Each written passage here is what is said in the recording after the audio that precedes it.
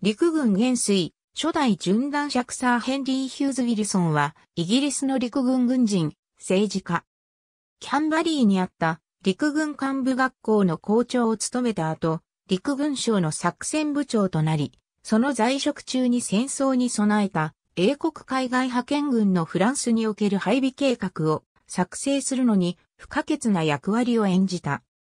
在職中の数年間に徴兵制度導入の運動を行う一方、1914年のアイルランドのカラ駐屯地犯行事件においては、現地に駐屯する高級将校らに、右派民兵組織アルスター義勇軍への攻撃を命じるなら、体感すると政府を脅すよう進めたことにより、政治的な作詞として評価されることとなった。第一次世界大戦における英国海外派遣軍の1914年の遠征中にあっては、副参謀長として初代派遣軍司令官、ジョン・フレンチ教の最も重要な助言者であったが、公認の司令官、ダグラス・ヘイグや参謀長、ウィリアム・ロバート・ロバートソンとの関係が弱かったため、戦争期間の半ばには最上位の意思決定から遠ざけられるようになった。1915年には英仏軍の関係を取り持つ重要な役割を果たし、1916年に唯一の実戦部隊指揮官の経歴となる軍団長に就任。1917年前半はフランス軍のニベル将軍の盟友となった。1917年後半に英国デビッド・ロイド・ジョージ首相の非公式な軍事顧問となり、ベルサイユに置かれた最高軍事会議における英国軍の終身代表となった。1918年に陸軍参謀本部総長に就任し、大戦終結後、英国陸軍が規模を大幅に縮小され、その一方で、英国が自国産業への不安、民族自決主義者による不安定化を抑制しようと試みていた時期も、引き続きその職に止まった。また、アイルランド独立戦争においても重要な役割を果たした。陸軍を退役後、短期間、会議員及び北アイルランド政府のセキュリティアドバイザーとなった。1922年、リバプールストリート駅における戦没者記念碑の公開式典から帰宅した玄関先で、二人のアイルランド共和軍の暗殺者により殺害された。ウィルソン一族は1690年、オラニエ公ウィリアムと共に、北アイルランドのアントリム県キャリクファーガスにやってきたと言われているが、実際には、それ以前から住んでいたようである。彼らは18世紀後半から19世紀前半にかけ、ベルファストにおいて海運業で成功し、1849年のアイルランドにおけるタンポト地方の施行後、ダブリン、ウェストミーズ県及びロングフォード県の地主になった。4人兄弟の抜子であるヘンリーの父ジェームズは、ロングフォード県バリナリーのカリーグレインの土地1200エーカーを相続し、大規模農家だけでなく中流地主となったが住むようになった。ジェームズは、ロングフォード県の高等県長官、治安判事、副知事を務めたが、アイルランドでは1898年まで地方自治政府がなかった。ジェームズと長男のジェミーはダブリン大学トリニティカレッジを卒業している。アイルランド土地同盟としての活動記録はないが、1960年代にアイルランド共和軍のリーダーだったショーン・マコインは、ウィルソン一族は公正な地主、雇用を主だったと記憶していた。ウィルソン一族はまた、ダブリン近郊のブラックロックにある18世紀の家屋、フラスカティも所有していた。ヘンリー・ウィルソンは、父ジェームズと母、コンスタンスの次男として1864年、カリー・グレインに生まれた。ヘンリーは1877年9月から1880年の復活祭までの間、マールボロ公立学校に通い、その後、陸軍入隊のための予備校に入校した。ヘンリーの弟の一人も陸軍で士官となり、それ以外の兄弟は不動産業者になっている。ヘンリーが少年の頃に通ったマールボロ大学ヘンリーはアイルランドのアクセントで話し、自分自身をその時々により英国人、アイルランド人またはアルスター人とみなした。同時代の多くのアイルランド在住イングランド人やスコットランド人と同様、彼はしばしばブリテン島をイングランドとして引き合いに出し、また自身についてイングランドではアイルランド気質を強調する一方、アイルランドではより英国人らしいとみなし、兄、ジェミーのアイルランドは国家として十分に均質でない。という考えにも同意していたようである。ヘンリーはまた、アイルランド国教会の熱心な信徒でもあったが、その思いは1869年の国教会廃止以降、特有のアイルランド人と提供会派への貴族意識へと発展していった。ヘンリーはオレンジ団の団員ではなく、時にはローマカトリック教会の礼拝に出席したが、英国国教会の聖職者により催される礼拝は嫌っていた。ヘンリーは個人的にはカトリックと良好な関係を得ていたが、カトリック教徒のジョージ・マクドノフ中将やウィリアム・ヒッキー少将を嫌い、昇進を妨げようしたという説もある。1880年から1882年の間、ヘンリーは何回か英国陸軍士官のトレーニング機関に入ろうとして失敗している。両方の学校への入学試験はどちらもひどく詰め込み教育が必要なものだった。英国の法学者、政治家であるジョン・フォーテスキューは、後年、当時のヘンリーは、長身の男子として脳が発達する時間を必要としていたと述べている。ジョン・フレンチ教やエドワード・スピアーズのように、ヘンリーは当時知られていた裏の手段最初に民兵部隊の士官になることマイナスによって仕事を得た。1882年12月、彼はロングフォードの民兵部隊、ライフル旅団の第6大隊に入隊、また第5マンスター不評部隊にも入隊して訓練を受けた。彼はこれら2つの訓練期間を経て、正規の軍人となる資格を得て、1883年から1884年の冬季のさらなる詰め込み教育、フッツアルジとドクダルムシュタットでの語学教育の後、1884年7月に陸軍の試験を受け、王立アイルランド連隊に任官、その後すぐにより、名門であるライフル旅団に移動した。1885年の初め、ヘンリーはインドに向かう第一大隊に配属され、現地で趣味としてポロ競技や猛獣狩りを始めた。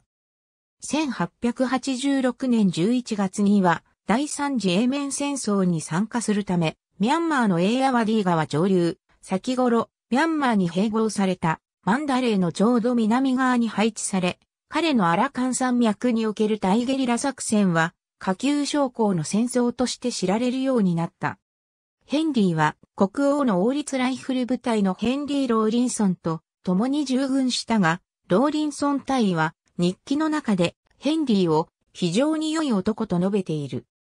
1887年5月5日、ヘンリーは左目の髪型を負傷したが、その傷は癒えなかったので、カルカッタで6ヶ月過ごした後、連隊の任務を解かれるまでアイルランドで治療しながら、ほぼ1888年いっぱいを費やした。彼は傷が残ったままとなり、その傷によって、醜いウィルソン、英国軍で最も醜い男というあだ名を付けられた。アイルランドにいる間、ヘンリーは2歳年上のセシル・メアリー・レイに求婚するようになった。彼女の家族はエリザベス一世一世後半にアイルランドに移り住み、ラフエスク、ドニゴール近くのアードモナと呼ばれる辞書を所有していたが、その収益性は1840年代のジャガイモ基金以降回復せず、また、1849年12月26日、家族が一冬を過ごしただけの家の外で、爆発物が入った二つの小樽が爆発したりしている。セシルの父ジョージ・レイは、1850年から1878年に死去するまで不動産業者として、末期にはキルデアにあるドロヘタ教の辞書のために働いたが、セシルは困窮した環境で育ったため、アイルランド政治に関する見方は、夫よりむしろ強硬だったようである。ヘンリーとセシルは1891年10月3日に結婚した。ヘンリー夫妻は子供がいなかったが、ペットや他人の子供たちに愛情を与えた。また、彼らは1895年から1896年に若いギルフォード卿に、1902年12月からはセシルの名レオノーラに家を提供した。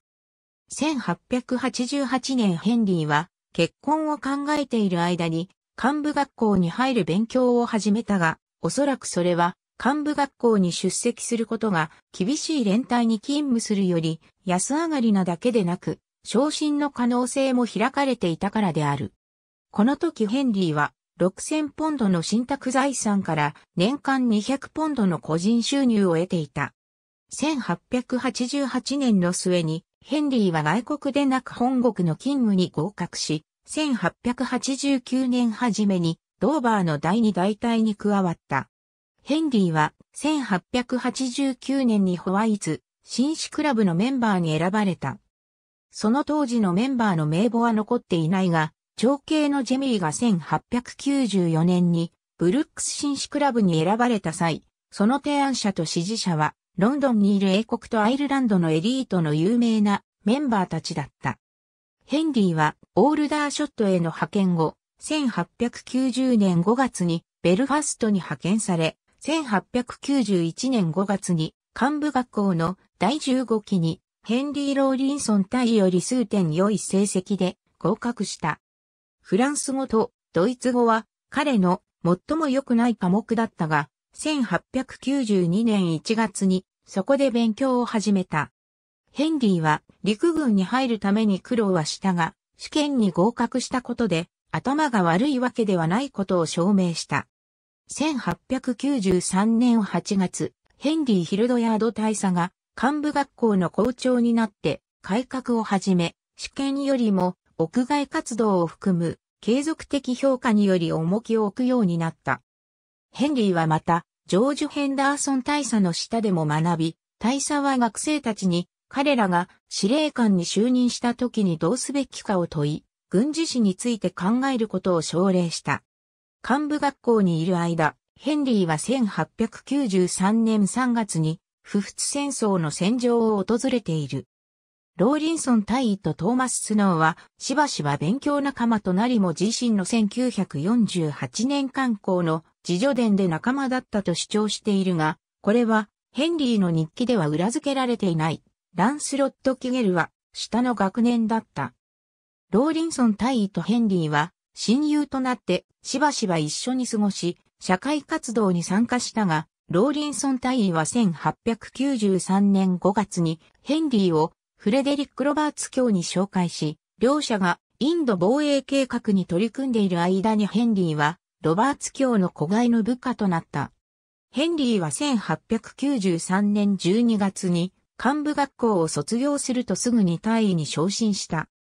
彼は1894年の初め、インド第三大隊に配属されることになったが、アーサーに対するものを含む広範囲な陳情活動に失敗した後、ダブリンにおいて医師から配属延期の診断結果を得た。彼はその後2年間香港第一大隊に配属されることを知ったが、8月には別な隊員と交代できた。ヘンリーがなぜそれほど海外勤務を避けたがっていたかに関する明確な証拠はない。レピントン中佐は同年7月、ヘンリーをフランス陸海軍の施設への出張に連れて行った。同年9月の連隊に対する短期間の勤務後、ヘンリーはレピントン中佐の口添えで、同年11月陸軍省に移動し、はじめは無給のアシスタントとして働き、その後、レピントン中佐の業務を引き継いだ。調査部は1880年代後半にヘンリー・ブラッケンバリー将軍によって創設され、一種の幕僚代理のようなものになった。ブラッケンバリー将軍の後、1891年4月には、ロバーツ教の子飼いであるエドワード・チャップマン将軍が引き継いだ。ヘンリーは、そこで1894年11月から3年間働いた。調査部は6つの部門があり、それぞれに補佐する部門府の召喚、スタッフ長、職員がいた。情報の多くは、公の情報源または大使館付部官からもたらされた。ヘンリーは1895年11月からローリンソン大尉の将校手帳、ガーネット・ウォルズリー元帥の旧藩が土台になっているタイの作成を手伝う時間を見出し、それは公式の戦地勤務ポケット手帳の誕生につながった。ヘンリーは A 部門で勤務した。1895年4月、ほとんど毎日3時間超の集中的な個人指導を受けたにもかかわらずベルリン配属のためのドイツ語試験に失敗したが、5月5日に A 部門のスタッフ長をレピントン中佐から引き継ぎ、彼は英国陸軍で最も若い参謀将校となった。彼は任務によってパリとブリュッセルに行った。第二次ボーア戦争、ボーア戦争1896年1月、ヘンリーは当時発生したトランスバール共和国におけるリンダースター・ジェームソンとその主兵による侵入事件を非常に好奇心をそそりかつ最も異常なものと捉えた。ヘンリーはオールダーショット第二旅団に在職中のジャック・コーワンズが退任すれば公認の少佐に着任する見込みであったところ、結局それは同年9月まで実現しなかったが、2月にイタリアがエチオピアに侵入して植民化したエリトリアに関する21ページの報告書を提出し、3月にウォルズリー元帥に対して同月に発生したイタリアのアドワの戦いの概要を報告するなどの活動を行った。1897年春以降、ヘンリーはトランスバール共和国と戦争になる可能性が濃厚だと信じ、必要な規模の派遣軍の投入を解いて回った。その年の春、彼は HP ノースコット少佐を助け、トランスバール共和国のクルーガー大統領の戦争回避を打ち砕くための計画を作成し、ホワイツ紳士クラブにおけるノースコット少佐とロバーツ教徒の昼食をアレンジするなどした。アイルランド自由国の初代自治領大臣レオアメリーは、後にヘンリーと同盟隊は、ロバーツ教の最後の計画となる、西欧の防和侵略の立案を支援したと主張している。1897年6月、ヘンリーはビクトリア女王の在位60年周年記念式典において勲章を授かったが、彼は戦争勲章を得ていないことを残念に思っていた。友人のローリンソン大尉とは異なり、マフディ戦争に参加する機会を失ったのである。1899年に緊張が再び高まり、英国ケープ植民地の知事アルフレッド・ミルナー卿が1万人の兵士が送り込まれるべきと要求していたとき、ヘンリーは4万人が送り込まれるべきと書き記している。ヘンリーは第三旅団付けの少佐となった。第二次防和戦争は1899年10月に戦線が布告され、ヘンリーは11月18日、ケープタウンに到着した。第二次防和戦争におけるコレンゾーの戦いヘンリーの旅団は、ナタール共和国に送られ、11月後半までに、防和軍に包囲されていた同国の都市レディスミスから509マイルのモーイ川付近に野営した。旅団は12月15日のコレンゾーの戦いに参加したが、不十分な砲撃の後に進軍して、連発式小銃を装備して残壕に広範囲に隠れていた防和兵に撃退された。ヘンリーは後にアフリカ南部における戦争の歴史を執筆していたレオ・アメリーに注意を書き送り、ヘンリー・ヒルディアード大将の第二旅団が解放体系で進軍したため、アーサー・フィッツロイハート少将の第五旅団の密集体系による攻撃よりもいかに軽微な死傷者で済んだかを伝えた。コレンゾーの戦いは、ウィリアム・ホーブズがタクレ中将の12月10日のストームベルグの戦いにおける敗北、ポール・サンフォード・メシュエン将軍のマゲルス・フォンテーンの戦いにおける敗北に続く暗黒の一週間における第三の敗北であった。ヘンリーは、ここにはうまくいくことがなく、RB の精神がある。と綴っている。レドバース・ブラー将軍は、総司令官をロバーツ卿と交代していたにもかかわらず、引き続き、ナタール共和国で指揮を取っており、チャールズ・ウォーレン将軍の第五師団を待っていた。レディスミス包囲戦における敵の砲撃は、ブラー将軍の陣地からも聞こえたが、彼はヘンリーの提案の浅瀬を渡河するを拒否した。ヘンリーは12月16日以降の遅延と、ブラー将軍のリテルトン将軍や他の上級士官たちとの情報共有の失敗を批判している。結局、ブラー将軍は1月16日になってリテルトン将軍に同地点の渡河を、翌日には彼の増援された部隊の大半が5マイル上流のトリハートの浅瀬を渡河することをそれぞれ許可している。ヘンリーはトリハートの浅瀬を渡河する間に実施した軽旅団による牽制砲撃を称賛された。続いて起こったスピオンコップの戦いの間、ヘンリーはブラー将軍について適切なスタッフや意思疎通の能力、そしてブラー将軍が配置したウォーレン将軍との連携がいずれも不足していることを批判した。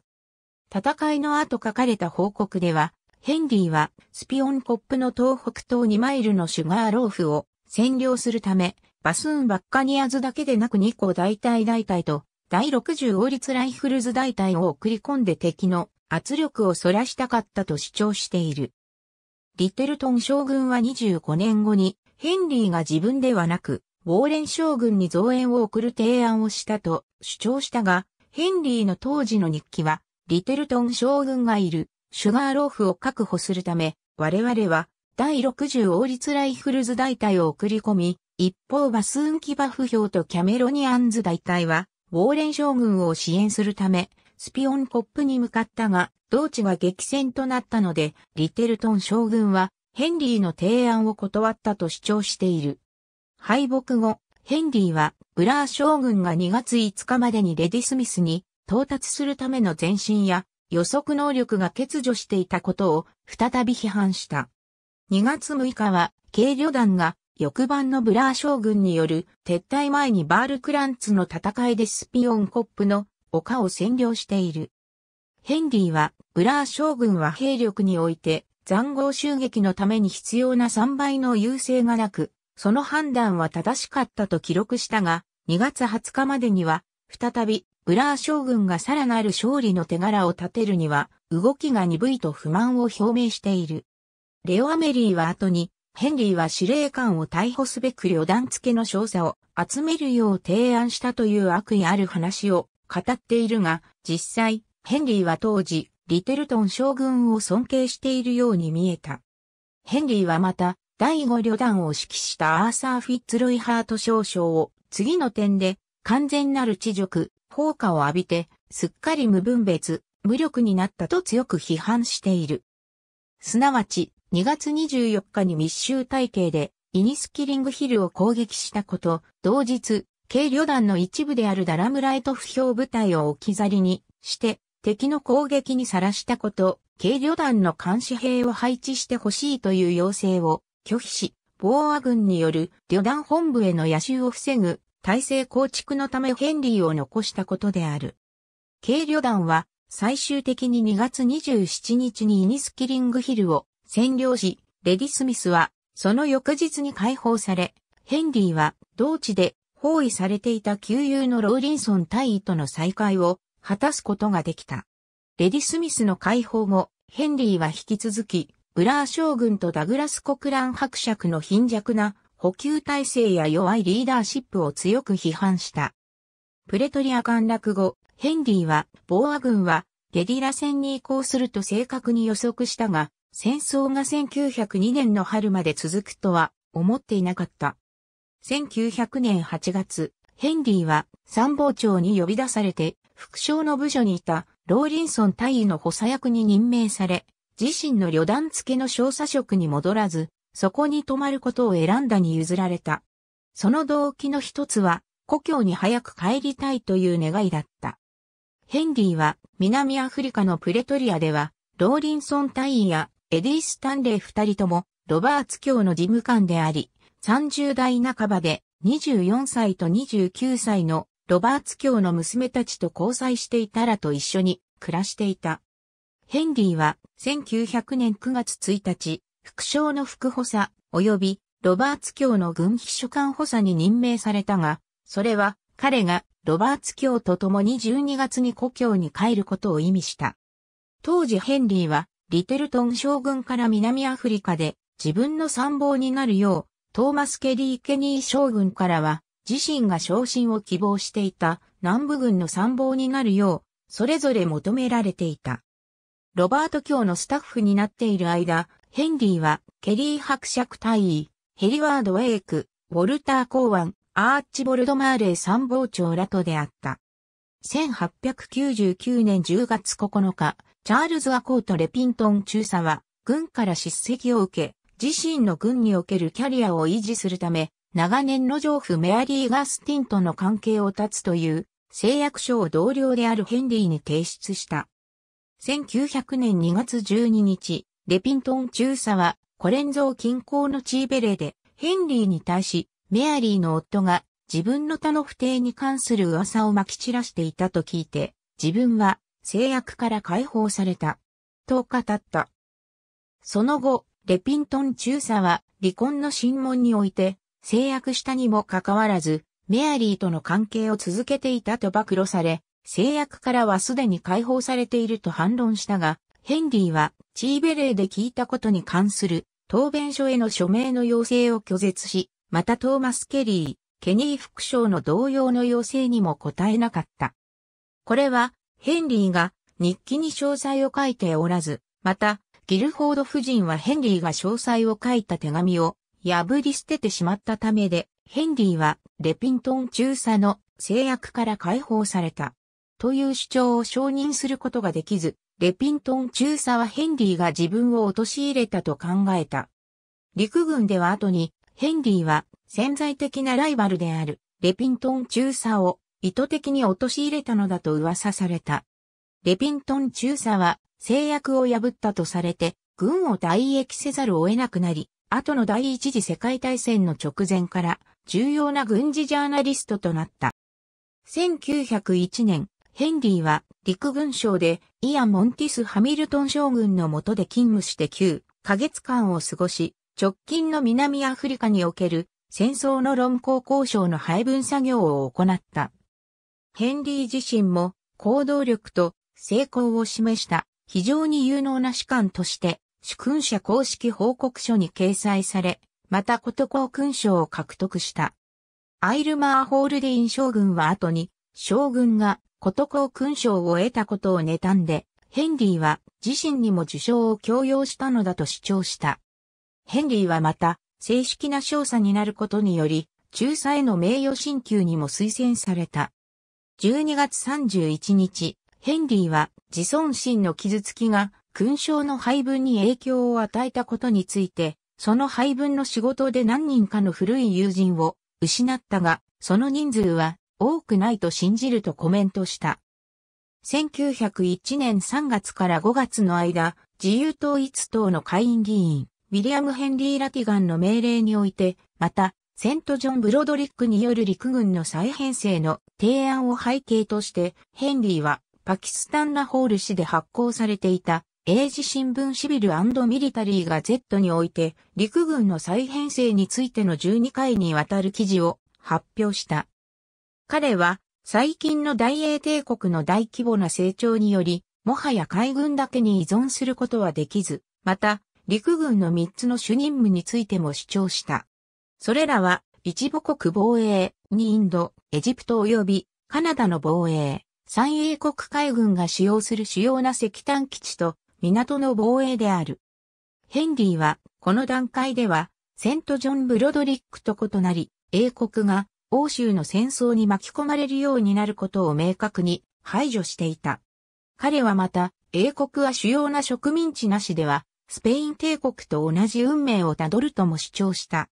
彼は、ブロドリックが提案した12万人ではなく、25万人の男性を海外派遣可能にすること及び、徴兵制度の導入についての検討を求めた。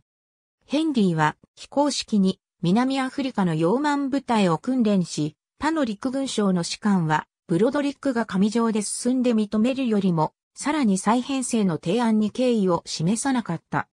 ヘンリーは1901年12月に少佐への実質的な昇進と約束された名誉昇進を獲得し、1902年にはコルチェスターのライフル旅団の第9臨時大隊の司令官になった。その大隊は1903年2月に解体された。ヘンリーはヘンリー・ヒルドヤード教配下の教育、訓練部門におけるローリンソン大尉の補佐役として陸軍省に戻った。それら3人の男たちは複合的訓練マニュアルと参謀マニュアルの作成に取り組む委員会を導いた。ヘンリーは父から1600ポンドを借りてメルルボーンロードの外れに家を購入し、アイリッシュツイードのスーツを着て、その家からしばしば陸軍省に歩いて通った。伝えられるところでは、ある時、彼は新聞売りと間違えられ、彼の新聞に対して差し出された小銭を受け取ったことがあった。1903年6月、ヘンリーは副将の補佐となった。1903年7月、ヘンリーはフランス大統領エミール・ルーベを訪問している最中、増加する人口と政治的規範のなさを有するドイツに対抗する英仏同盟の必要性について熟考した。その時、ヘンリーはアーサー・バルフォアやウィンストン・チャーチルと評したレオ・アメリーやレオ・マックスのような政治的な大建物と親しくしていた。1903年8月、セント・ジョン・ブロドリック教が提案した陸軍再編成案のいくつかは、エルギンリポートによって批判された。ブロドリック教は、保守党議員によって議会で攻撃され、その一人は、レオ・アメリーでヘンリーは彼に情報を提供していた。レオ・アメリーの提案に基づき、ヘンリーの同僚ジェラルド・エリソンは、陸軍省委員会の秘書官に任命された。その委員会は、死者レジナルド・ブレッド教、海軍大将ジョン・フィッシャー提督及び植民地行政官、男爵ジョージ・クラーク卿の3人からなっていた。ヘンリーはイーシャー卿の目的には賛同していたが、それはヘンリーが陸軍省で始めた変革ほどのスピードはなかった。ヘンリーはイー・シャー教に働きかけて幹部学校、王立陸軍士官学校、王立陸軍士官大学及び幹部の昇進試験を管理する部門の任務に就いた。ヘンリーは幹部の訓練と昇進試験に関する助言を行うため、しばしば英国とアイルランド内を出張した。1905年1月、ヘンリーはキャンバリーで史上初の参謀会議と幕僚演習に出席した。彼は特に1904年10月のドッカーバンク事件以降、参謀本部が設置されるよう工作を続け、レピントン中佐も1905年5月からそのために公然と運動し、それはブロドリック教の後継者、アーノルド・フォースター陸軍大臣が行動を起こす手助けとなった。フォースター大臣はヘンリーに意見を求め、ヘンリーは戦略の問題に関して陸軍大臣の唯一の助言者になり得る強力な参謀本部総長を提案したが、その役職は皮肉にも第一次世界大戦の間、ヘンリーのライバルであるロバートソンによって支援されることになった。レピントン中佐、イーシャー教とジョージ・クラーク教からの圧力にもかかわらず、参謀本部の進歩は父としたものだった。8月、フォースター大臣は、ヘンリーが3ヶ月前に提出したものに似た覚書を提出し、リテルトン将軍はヘンリーの役割を知らずにそれに支持を表明した。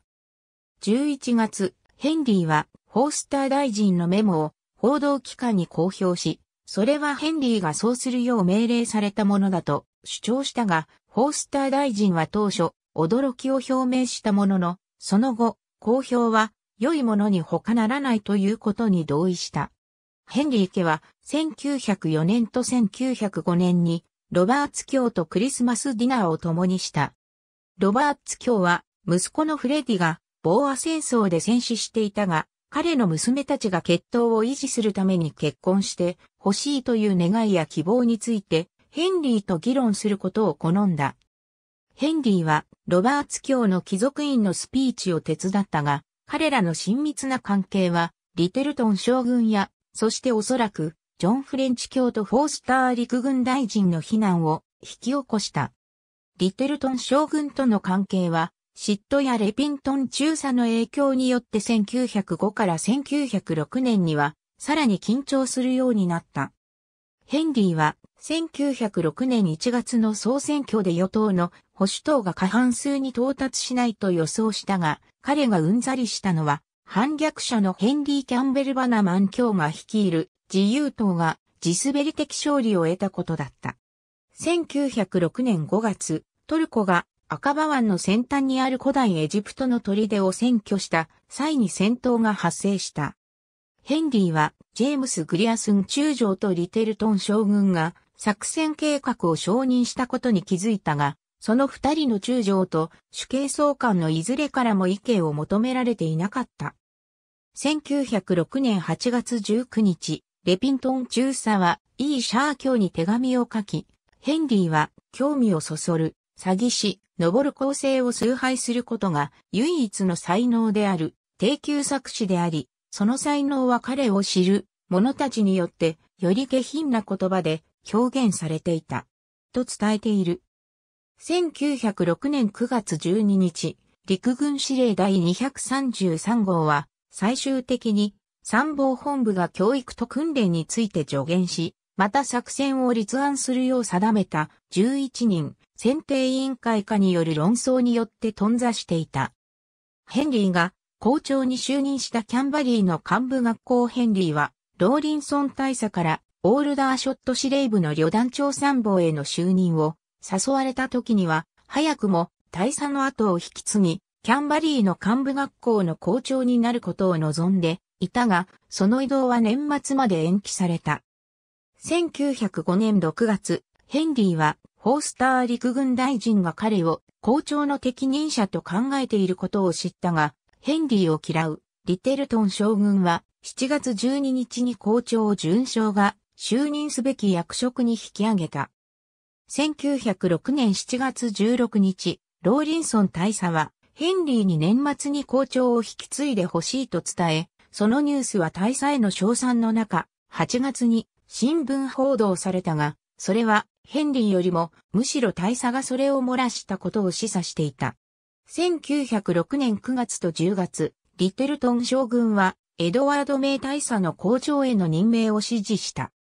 スペンサー・エワートとダグラス・ヘイグの二人は名大佐の任命に反対し、一方、ロバーツ卿はリチャード・ホールデインにヘンリーを推薦する手紙を書き、イーシャー卿も南アフリカでの優れた参謀の仕事ぶりと、キャンバリーの幹部学校におけるローリンソン大佐の軍事訓練の改善を継続するのに必要な強い性格を持つとして、ヘンリーを校長に推薦した。ヘンリーは、から間接的に彼が校長になれそうだと聞いて、ロバーツ教に感謝の手紙を書き、今日の指示によって校長の職をつかみ取れたのだとほとんど疑わなかった。ヘンリーはロバーツ教と非常に親しいままで、しばしば彼のクリスマスディナーに参加し、1909年5月には今日の金婚式に出席した。ジョン・フレンチ教は当初ヘンリーがロバーツ教の子飼いなのか怪しんでいたが、今やヘンリーの立候補を支援し、1912年までにヘンリーはフレンチ教から最も信頼される助言者となった。ジェームス・エドワード・エドモンズ准将は後に、ヘンリーは参謀任務の指導者として行動する一方、名大佐を校長職に推薦し、彼自身を2番目の推薦者とすることで、うまくその職を自らの手中にしたのだ。とこれらの出来事を誇張して語っている。また、作家ティム・トラバーズは、1987年出版のザ・キリング・グラウンドにおいて、第一次世界大戦前の陸軍では、昇進が支援者の引き立てに依存していたことを描くため、この逸話を使っている。ジョン・ハシーは、この件に関する調査において、ヘンリーの校長職就任を気難しいが、適任者という学校側の決定であり、エドモンズ准将の話を古い陸軍の構造的欠点に関し、何らかの証明をするには証拠に欠ける。と退けている。また、キース・ジェフリーは、作家トラバーズがもし本件を誤解していたとしても、その主張は全く実体がないわけではないと論じている。ヘンリーは1906年12月31日の日記に自分は5年と1ヶ月で大尉から準将に昇進したと記した。彼は1907年1月1日付で実質的な大佐に昇進し、臨時の準将とキャンバリーの幹部学校長への就任は1907年1月8日に公表された。ヘンリーは当初手持ちの金が足りず、キャンバリーへの引っ越し費用のため350ポンドを借り、また、彼の放給は期待していた楽しみを賄うには十分ではなく、海外で休暇を過ごすことやロンドンへの社交のための外出を減らす必要があったが、1907年8月の父の死による1300ポンドの相続以後、数年の間にポロ競技用のポニーや2代目の自動車を買うことができた。ヘンリーは1905年5月のホースター陸軍大臣へのメモと同じ程度以前から思想の学校が必要であると主張していた。学生に対する年初のスピーチにおいてヘンリーは管理の知識、基礎体力、想像力、兵士と情勢への的確な判断、そして指揮官が遂行する作戦における普段の理解と意見具信の必要性を強調した。英国軍事史屋で大学教授のブライアン・ボンドは、ビクトリア女王時代の陸軍と幹部学校において、ヘンリーの思想の学校は単なる参謀将校の一般的訓練だけでなく、徴兵制度への支持や戦争勃発時にフランスに英国海外派遣軍を送る公約も意味していたと主張しているが、キース・ジェフリーは、それはボンド教授の誤解であるとしている。ヘンリーはエドモンズ准将を運営ほどスパイ活動の危険性を気にしていなかったが、1908年3月、二人のドイツ人の理髪師を潜在的スパイとして幹部学校から追放させた。ヘンリーは1908年6月の国王誕生日の叙勲においてバス勲章を授与された。1908年、ヘンリーは上級クラスにドイツがベルギーを侵略したと仮定して、フランスに海外派遣軍を配備する計画を作成させた。が、そのことが世間に漏れて会員において質問が行われ、翌年ドイツのベルギー侵略の過程がなくなった時、学生たちは、その演習は秘密だったのだとはっきり気づいた。ヘンリーはフランス陸軍大学を訪れた際、初めてフェルディナン・フォッシュに出会った。二人は良い交友関係を結び、二人ともドイツはベルダンとベルギーのナミュールの間を攻撃してくると思っていた。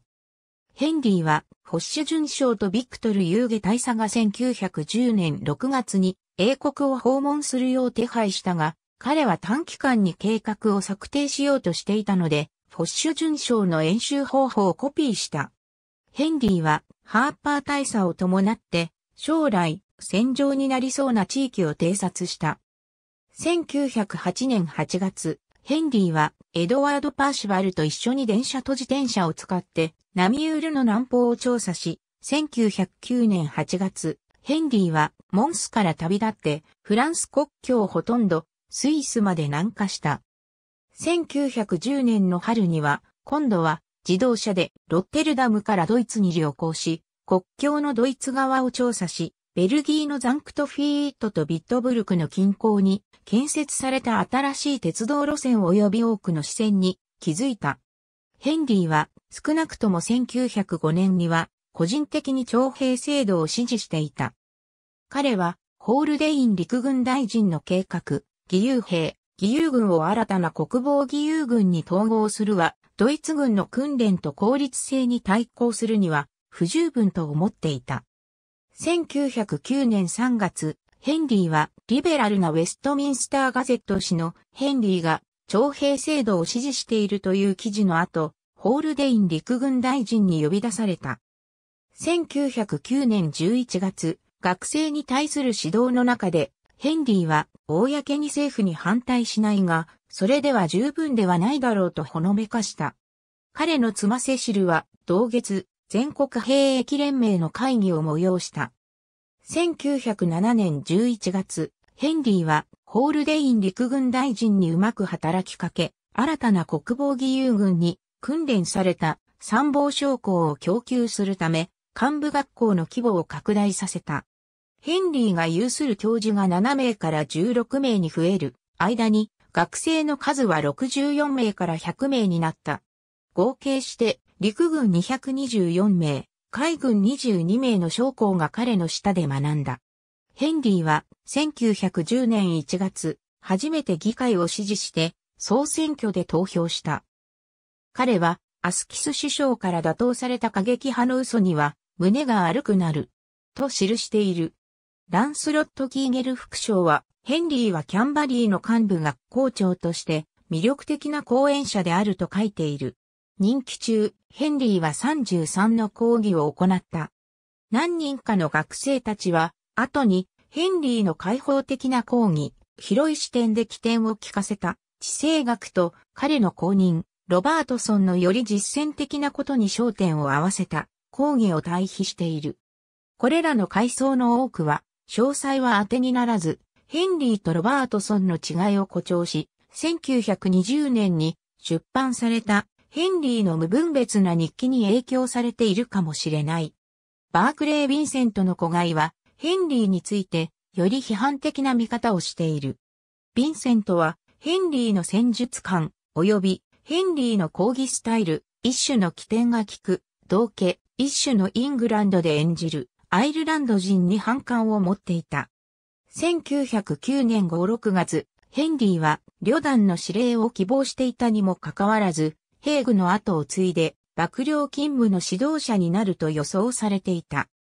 1910年4、5月、キャンバリーにおけるヘンリーの校長の任期は公式には1911年1月までとなっていたが、参謀本部総長のウィリアム・ニコルソン将軍は、その夏、ヘンリーにスペンサー・エワート副将の公認として作戦指導者となるよう告げ、ホレース・スミス・ドリエン将軍のオールダーショット旅団への誘いを受けることを禁じた。1910年7月、ジョージ5世のキャンバリー公式訪問がヘンリーの任期の優秀の美を飾った。ヘンリーは校長の後継者としてキーゲル副将を推薦し、ロバートソンの任命は相当なギャンブルだと考えており、それが学校とこのクラスにどのような意味を持つか考えると私の心は沈む。と記している。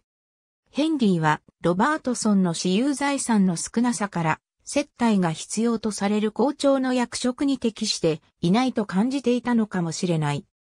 1910年7月28日、ロバートソンは、ホレーショハーバート・キッチナー元帥とキャンバリーを訪れたが、これが1914年8月におけるヘンリーとキッチナー元帥の良くない関係の原因となったかもしれない。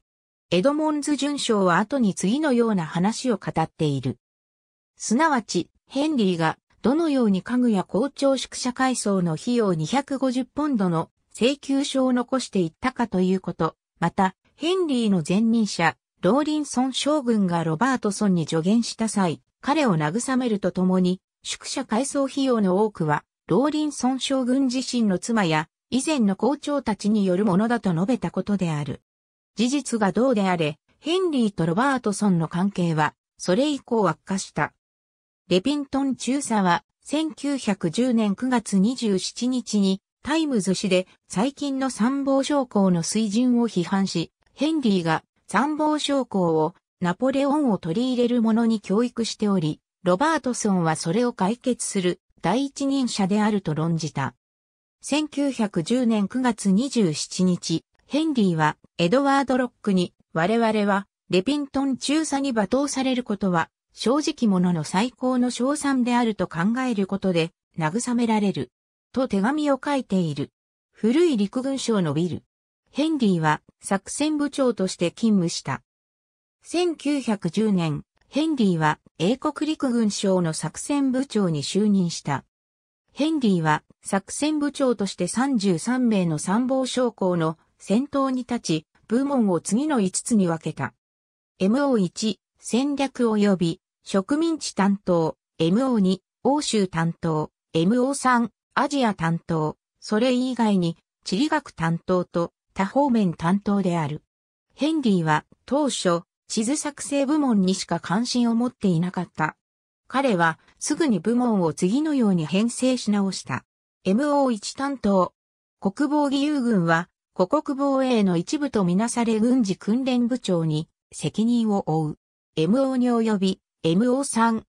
ヘンリーは作戦部長として最も重要な任務は、1909年7月の帝国国防委員会の決定に従い、海外派遣軍をフランスに展開するための詳細な計画を作成することだと信じていた。この領域は前任のグリアスン中将による第一次モロッコ事件中の計画からほとんど前進していなかった。スペンサー・エワート少将とウィリアム・ニコルソン、参謀本部総長はフランス中英部官だったビクトル・ユーゲ大佐と取引することを避けていたからである。ヘンリーが作戦部長として書いた36通の書類中21通が海外派遣軍に属する話を取り上げていた。彼はまた徴兵制度が導入されることも希望していたが、これは徒労に終わった。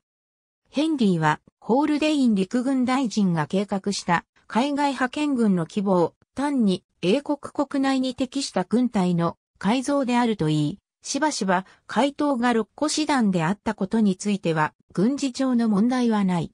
と断言した。フランスのフォッシュ将軍はヘンリーに次のように話したと言われている。英国が5丁と4人の兵士を大陸に派遣してもらえれば幸いであり、5丁らをドイツ軍に殺させると約束する。そうすれば英国は全力で参戦できるだろう。保守将軍はロシア訪問から戻ったばかりだったが、もし戦争になった場合、フランスはロシアを当てにできないかもしれないと心配しており、以前にも増して英国の軍事的支援を切望していたのである。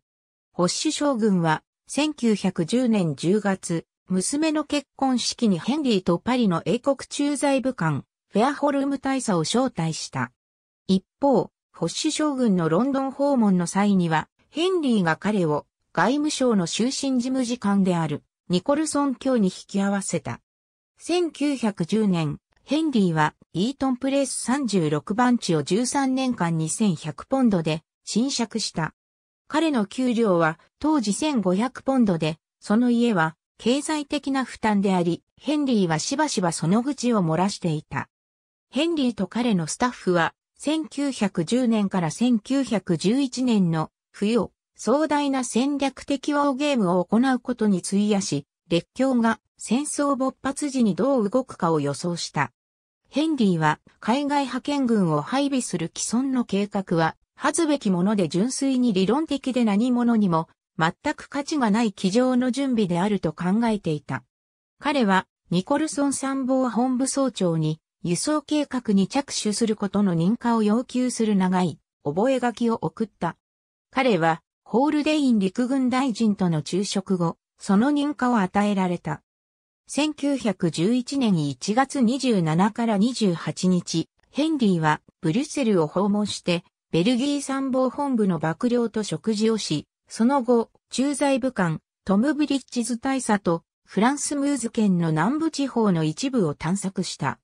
2月17から27日の間、彼はドイツを訪問し、英国大使館における夕食会で、ベートマン・ホルベーク首相と海軍大臣、ティルピッツ提督に会った。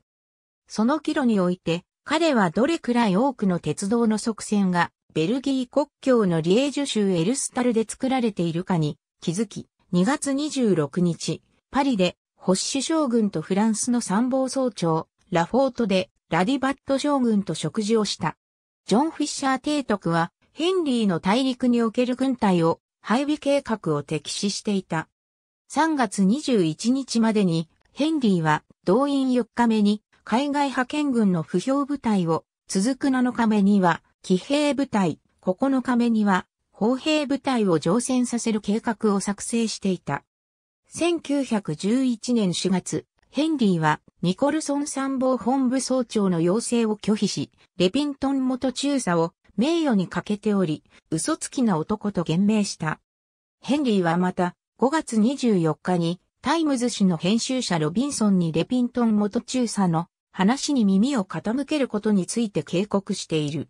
ヘンリーは7月4日に派遣した3日後、深夜まで眠らずに参謀本部総長に長い書面を書いた。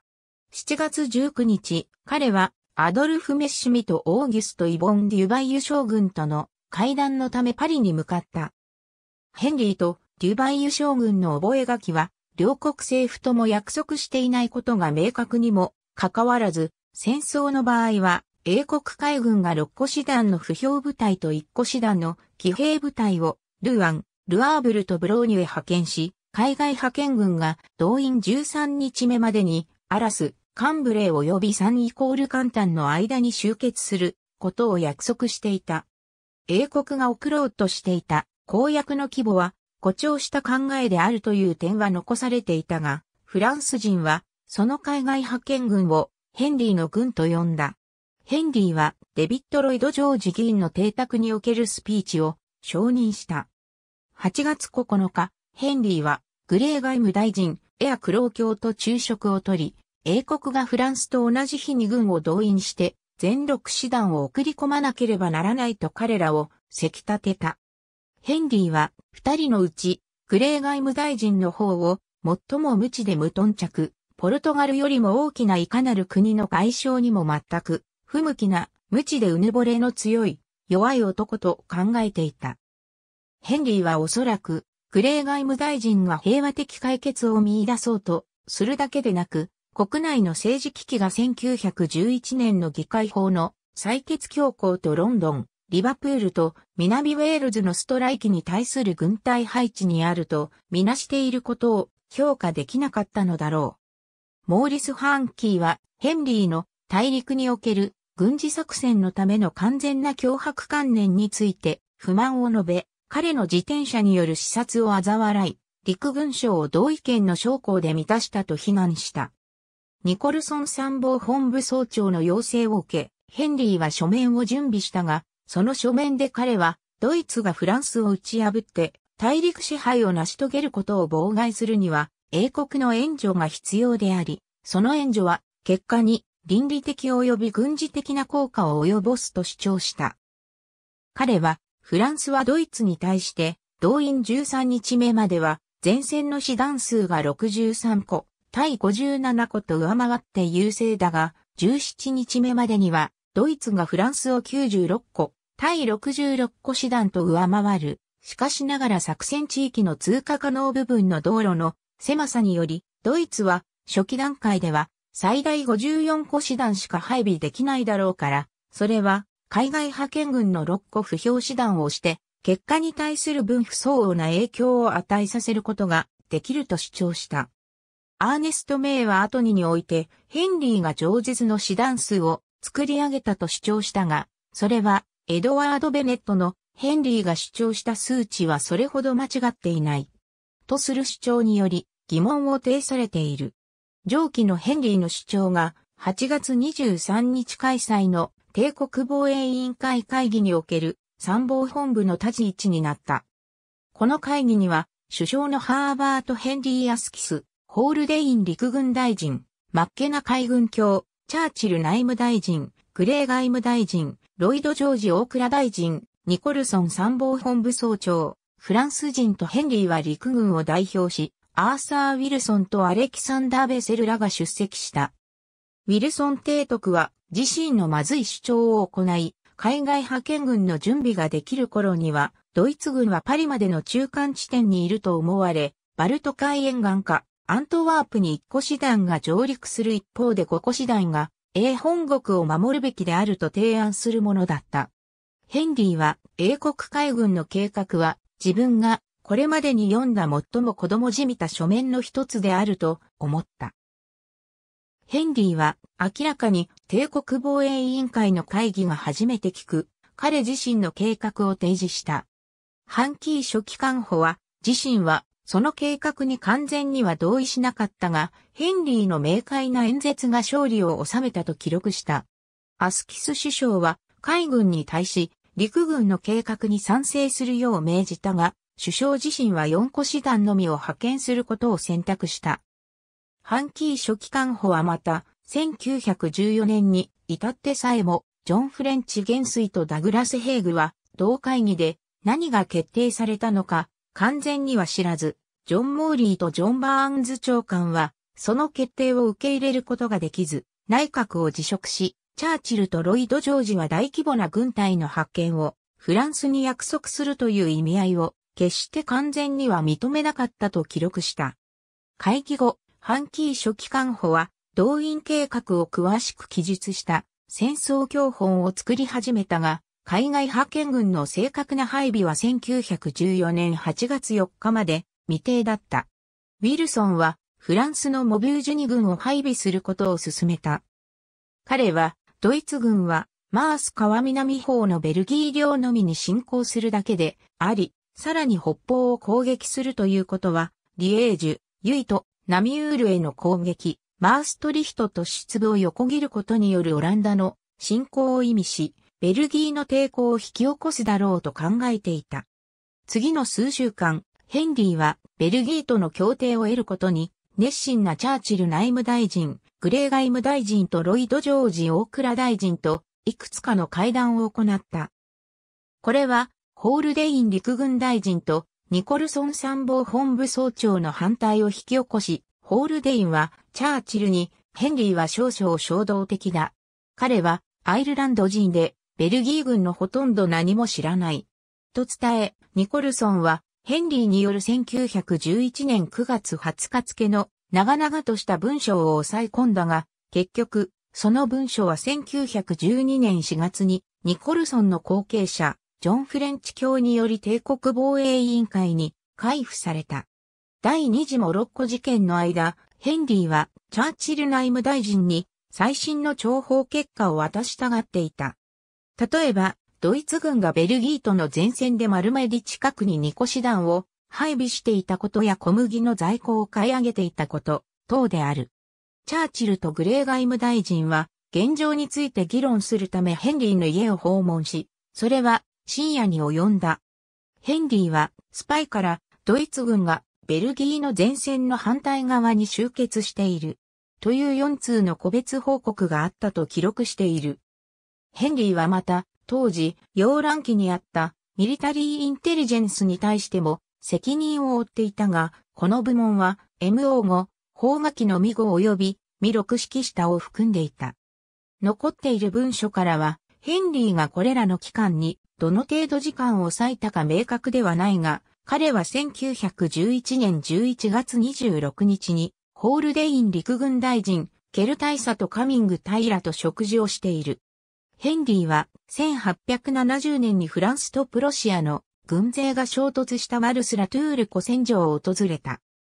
1911年10月、ヘンリーは再びベルギーマース川南方への自転車による視察に出向き、また、フランス側の前線も調査し、ベルダン、マルス・ラトゥール古戦場も訪れたが、これらは彼が海外派遣軍の計画的集結地のサンミッシェル要塞を示した小さな地図を置いたと主張した地域である。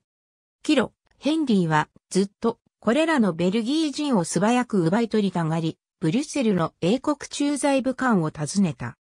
内閣の急進的なメンバー、ルイス・ハーコートはヘンリーの移動を後押ししたが、ヘンリーは最も有力な大臣たちすなわち、アスキス、グレー、ロイド・ジョージらの支援を受けたホールデイン、陸軍大臣によってしっかりと守られた。アガディール第二次モロッコ事件後、ハーパー中将指揮下の M01 部は戦争準備の重要な部門となった。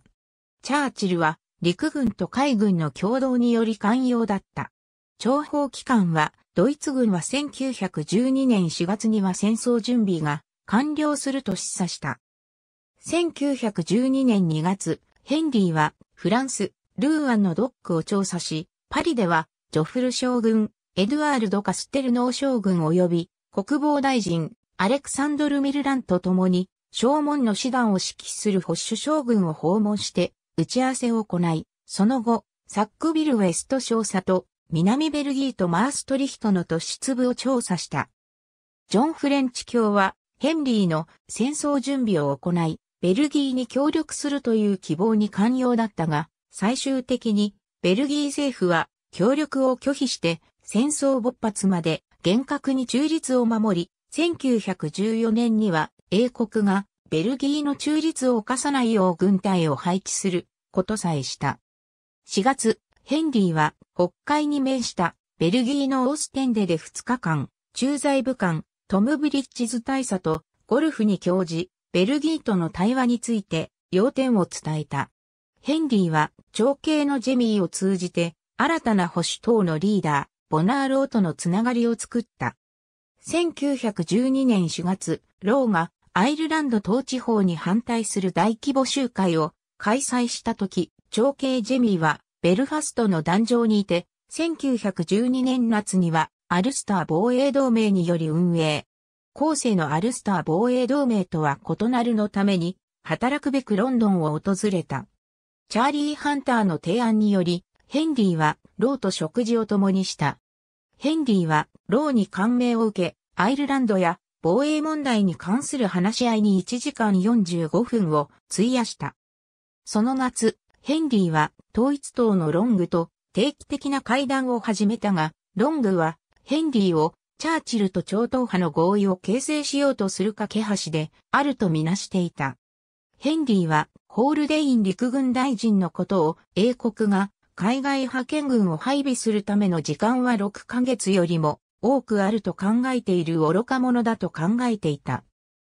1912年9月、ヘンリーはロシアの英国駐在武官アルフレッド・ノックスとワルシャワを調査し、次にボロジノの戦いで知られるボロジノ古戦場とキエフを訪れる前に、サンクトペテルブルクでロシア帝国陸軍参謀本部総長ヤコブ・ジリンスキーと会い、次にオーストリア・ハンガリー帝国でレムベルクはホールデインが望むような6ヶ月以内ではなく、直ちに戦争への態度を明確にしなければならない証拠であるという懸念を記している。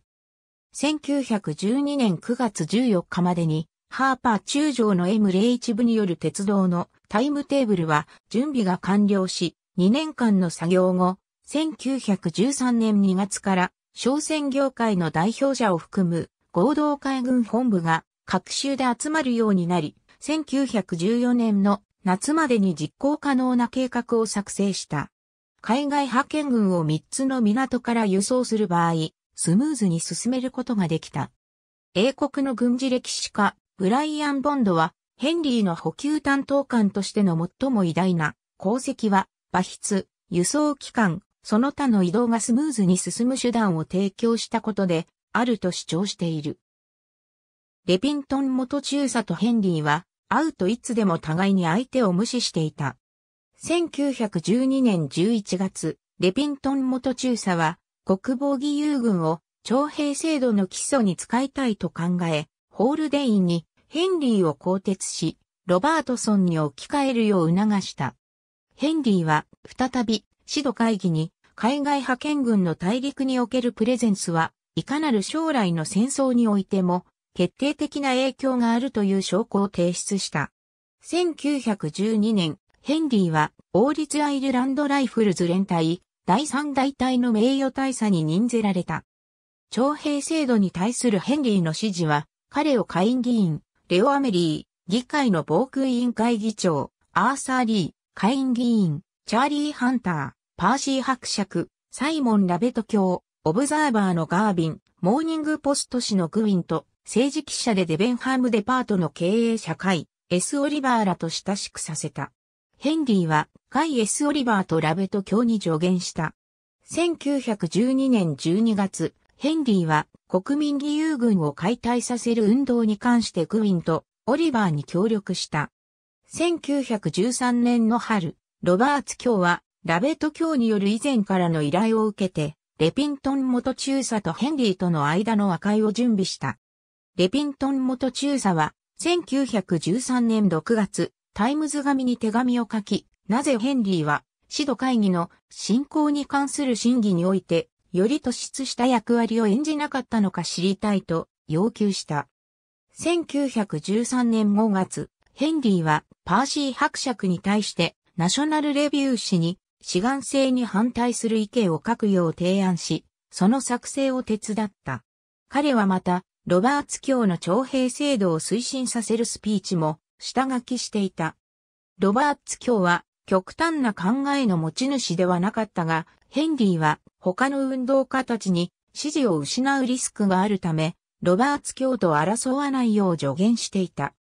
1913年にヘンリーはフランスオナなど訪問し、8月にはジョン・フレンチ元帥とジェームス・グリアソン参謀総長とシャロンにおける作戦行動について、9月には保守中将が指揮する第20軍団の作戦行動について、それぞれ助言した。ヘンリーは、フランス語は堪能だったが完璧ではなかったので、微妙な問題については、言語の不正確さのリスクを避けるため時に、英語で話した。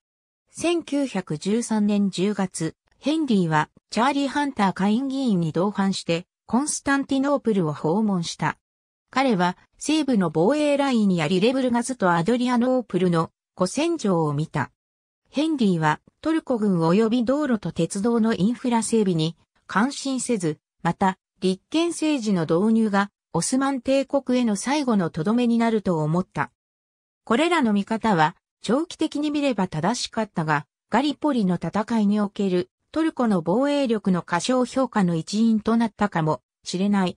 1912年末からロバーツ教はジョン・フレンチ元帥にヘンリーを少将としての仕事にふさわしい階級に昇進させるよう働きかけていた。1913年4月、旅団の司令官が空席となり、ヘンリーはジョン・フレンチ元帥によって年内の少将への昇進と旅団の指揮経験がないことが後に師団を指揮する妨げにはならないことを保証された。ジョン・フレンチ元帥はヘンリーに作戦地域を去る前でさえグリアソン参謀総長の働きに満足していないと言った。ヘンリーは、元帥は自分に1913年の作戦行動以後の海外派遣軍の次期参謀長になってほしいのだと信じたが、彼はそれには若すぎであり、代わりにアーチボルド・マーレー中将が任命された。ヘンリーは1913年11月に少将に昇進した。ジョン・フレンチ元帥は自らの参謀総長としての任期が1918年までの2年間延長され、その後、マーレー中将に引き継がれ、ヘンリーがマーレー中将の副参謀本部長の地位を引き継ぐと確信していた。1913年11月17日の参謀本部の上級幹部の会議後、ヘンリーは個人的にフレンチ元帥の知性の欠如を心配し、まだ戦争にならないよう望んでいると記している。1914年の初め、幹部学校の演習で、ヘンリーは参謀長の役割を担った。エドモンズは後に演習指揮官となったロバートソンが、ヘンリーがある一定の手順を知らないことに注意を惹かれ、フレンチ元帥に聞こえよがしに、もしあなたがあの作戦参謀と戦争に行くなら、負けるも同然だ。と言ったと書き残している。ヘンリーと彼の家族は統一派としての政治活動において長らく活躍した。1885年、彼の父がロングフォード南に立候補し、長兄ジェミーは1885年と1892年に北選挙区に立候補した。1893年、ウィリアム・グラッドストンの第二次アイルランド自治法案の通過中、ヘンリーはアルスターで演習する兵として2000から4000人を動員する提案に関与していたが、彼はカトリック教徒も対象にすることを望んだ。1895年2月、ステップ2において、ヘンリーと妻のセシルは、ジョゼフ・チェンバレンのロンドン自治体への疑問に関する非常に素晴らしいスピーチを非常に楽しんで、また、ヘンリーは1903年5月にもチェンバレンのスピーチを聞いている。1903年、ヘンリーの父は地主代表団の一員としてアイルランド土地法が議会で可決されるのを見届けた。1906年、ヘンリーの弟とのはトーリー党の事務員となった。ヘンリーは1914年に施行されることになる第三次自治法に反対するアルスターの統一派のものを支援した。ヘンリーは1913年4月13日、長兄ジェミーから2万5千名の武装メンバーと10万名の警察官が反乱を起こし、銀行と鉄道を支配するための暫定政府を作るという計画を聞いたが、彼はそれを全てが非常に賢明だと考えたが、彼が実際に武装反乱を構想したか、政府が手を引くことを期待したかは明らかではない。1913年4月16日、ロバーツ教にアルスター軍の参謀長に就任するよう要請され、ヘンリーは必要なら敵対するより、むしろアルスターのために戦う。と答えた。陸軍省の会議において、ヘンリーは最近国王から意見を求められたフランス人に言った。私は個人としてはジョン・レドモンドの命令で北に発砲することができず、イングランドとしてのイングランドは自治法に反対であり、イングランドはそれを認めなければならない。私はアスキスが実力行使するほど頭がおかしいと思う気になれないと。ヘンリーがイングランドとしてのイングランドという表現によって何を言おうとしたかは不明だが、彼は政府はその問題をめぐって総選挙最近の補欠選挙からすると保守党が勝つかもしれないを戦うよう強いられるべきだと信じていた。両サイドは互いに相手が自分を脅していると思っていた。そのフランス人はヘンリーがこれらの会議の内容を保守党の党首、アンドルー・ボナーローにリークしているか分かっていなかった。ありがとうございます。